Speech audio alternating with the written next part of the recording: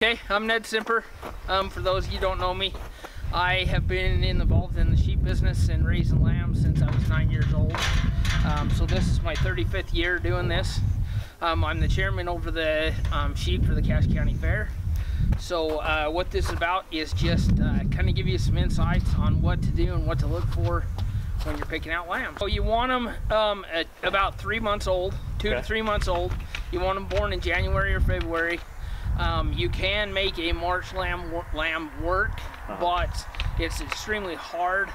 You have to put a lot of feed and a lot of effort into it in order to get it to make weight Mm-hmm. for the fair. Um, so you kind of want to stick with January, February lambs. Okay. Um, you want to start looking in March. March and April is kind of when you is kind of when producers start selling their animals. Um, that's kind of when you want to start looking. Um, definitely want to get one secured by May um, and get get ready to go get going on your project in May. So the, the breeds that do the, we- the do the best are Suffolk and Hams. okay. And which Um, one's this one here? This one's a Ham cross. Okay. So it's a it's a it's uh, the mom was Suffolk, the dad is a Hampshire. Uh huh. Um, so more and more is becoming uh, Hampshire. Oh. So Hampshire is more and more popular. Yeah. Um, becoming more of the breed that's recognized and more of the breed that's winning the shows. Somebody who has some experience, somebody who's been around doing it for a while.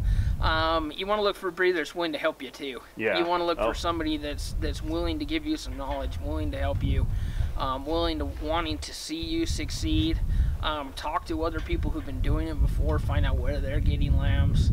Uh, find out, and there's a ton of breeders, ton of, of people in the area, ton of people who are knowledgeable.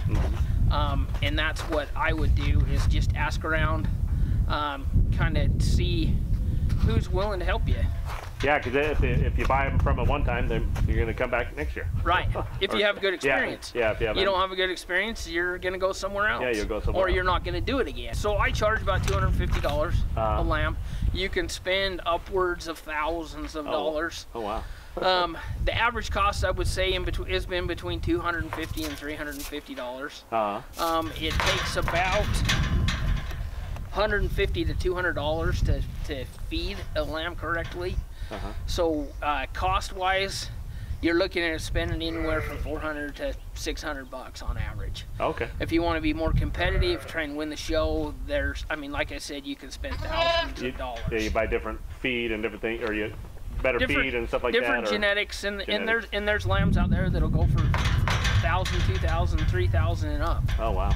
Um, so it just depends upon how what your budget is and how competitive you want to be. Uh huh. Um, but you can easily get a decent lamb that'll do very well for 250 to 350 dollars. yeah. And sometimes it's a kind of a not a luck of the draw, but sometimes you get a good one. So, sometimes there's some luck involved. Yeah. Sometimes there's some how you take care of them and feed them is involved. Um, sometimes genetics plays a part. Yeah. So there's a multitude of things that play that are part of this that play into it and are, and are involved in, in that one. Yeah. And then what? Um, what do you think is the most important thing? So your, your feed is it's really important. um, you do mostly hay, uh, or So like, a good show grain. So Show you want to you want to find a good show grain. You want to find something that's readily available in your area. uh, You don't want to find something that maybe is a good feed, but maybe you're gonna run out of. Somebody's not gonna keep you in supply. oh yeah. There's several options. Um, IFA carries a lot, a lot of different feeds, a lot of different uh, brands. I personally feed Show-Rite. Show right. Um, High Noon is another uh, competitive brand. Purina also makes some feed, um, but definitely you want to be consistent and you want to make sure that you're you stick on the same feed. Okay. You don't want to change feeds. that'll put them off Six, for a little while. six or, weeks from now, you don't want to change feeds. You want to be consistent and keep them on the same feed throughout the whole process. That that just makes it so they're they're used to it. They don't get off their feet and maybe kind of Right. foul them up a little bit. Yep, get sick, then you then you got to start all over again. Especially when it gets close to the the, the fair. Yeah. You don't want to change feeds because you're gonna upset them. Yeah, and then they're then they're sick and not eating or whatever, not Yep. getting, getting weight. So And then you want to also feed them alfalfa, alfalfa hay. You don't need to feed them a lot, right. um, just a little bit, just to keep their rumen and stuff going. Yeah. And then do you, uh, as far as your, if you had one lamb or two lambs, do you separate them, make sure you see what they eat as far as the grain and stuff, or it just So kind it depends upon how many you have? it depends upon how many you have, what what if they're both similar in weight. both you're both you're trying to um, get them to the s- both to the same end goal, Uh-huh. then you would want to feed them the same. But if you got the one that's a lot bigger than the other and one that's smaller than the other, then you're definitely going to want to watch and wait and uh, watch and see what uh, they do because obviously you're going to feed them different. Um, if you're only going to raise two lambs at your place, try and pick out lambs that are similar in size Oh, so then you don't have to um, try and manipulate and Oh. try and hold one back while you're trying to push the Yeah. other one. Yeah, if you're doing if you're doing is a is a family or you got two or three um, kids doing it together, try and get lambs that are similar in size. Uh-huh. Then you don't have to worry about trying to separate them. Um, and lambs do better when you feed them together. The competition oh, actually helps them.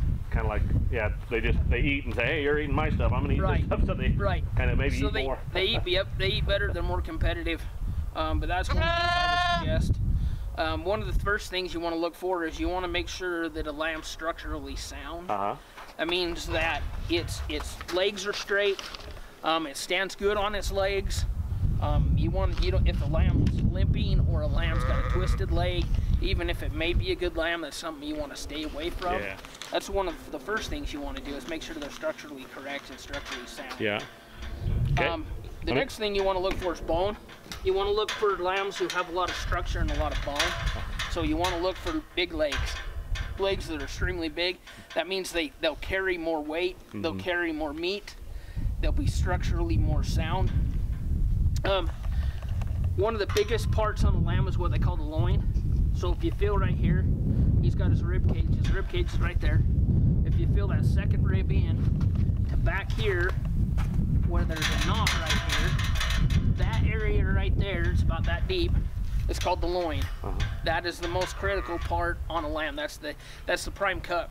One Oh. of the prime cuts on a lamb. Uh huh. So you want to look for something that's that's uh, square, that's long, right in this area, that's bigger than than the rest in that area, and you want to make sure they have a straight a straight back. Huh. If you got one that's got a, a dipped back, you can't correct that. That's Oh. not a good trait. Huh. Um, so you want to make sure they're good and level and straight across the back. Um, and then the next thing you want to look for is the size of their legs. Leg of lamb um, is, a, is also a prime cut on lambs. So the bigger, the better. The more bulgy they are, um, the better.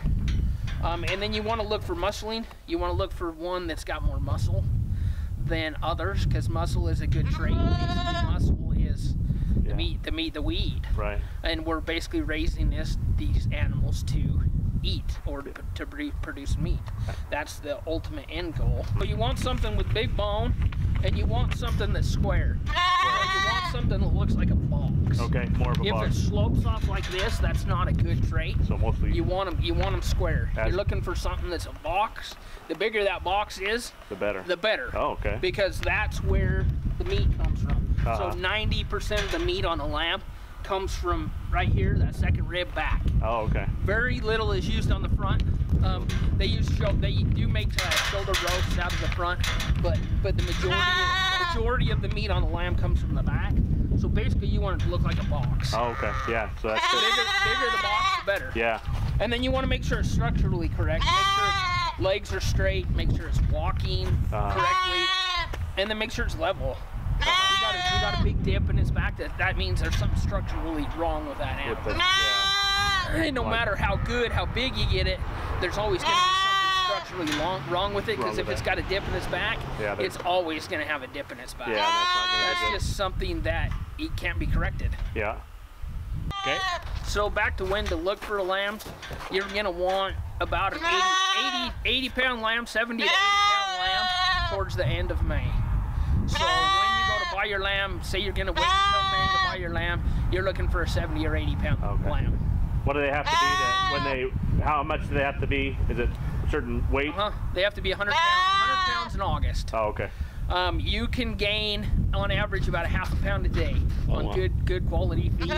You can get a half a pound a day. You can get upwards of one pound a day on lambs. Uh, the deeper it gets into the summer and the hotter it gets, the harder it is to achieve that goal. Just because they, it's just hotter. They eat. They you eat know? less when when it's hotter. Yeah. They they don't uh, perform as well. Yeah. Um, their intake goes down. Um, one of the other key, key things is water. Oh. If a lamb, a lamb has to have access to fresh, clean water. All If a lamb runs out of water, it does not have water, it won't eat. Oh, It just will not eat. So if your lamb, if your lamb all of a sudden just stops eating, well, check its water source. Make sure that it's got plenty of water. Make sure it's fresh water. Make sure it's clean water. Yeah. If you have to dump the bucket out every day, dump the bucket out every day. get clean. Um, because that's one of the other keys to, to raising lambs is water. Water. If if they don't, if they can't drink, they, they won't eat. oh, is it? So they, they have to have a place for shade to cool off too, as far Yeah, you're gonna want to keep. You're gonna want to have some place for them to get out of the sun, get out of the weather. um, some place shelters, uh, calf hutches work good. Um, just small shelters if you're just raising a couple lambs. You don't need an, an, an enormous big one. structure like this. You can actually get away with just something small. Just something where they can get out of the weather and get out of the wind and get out of the sun Out when the it gets warmer.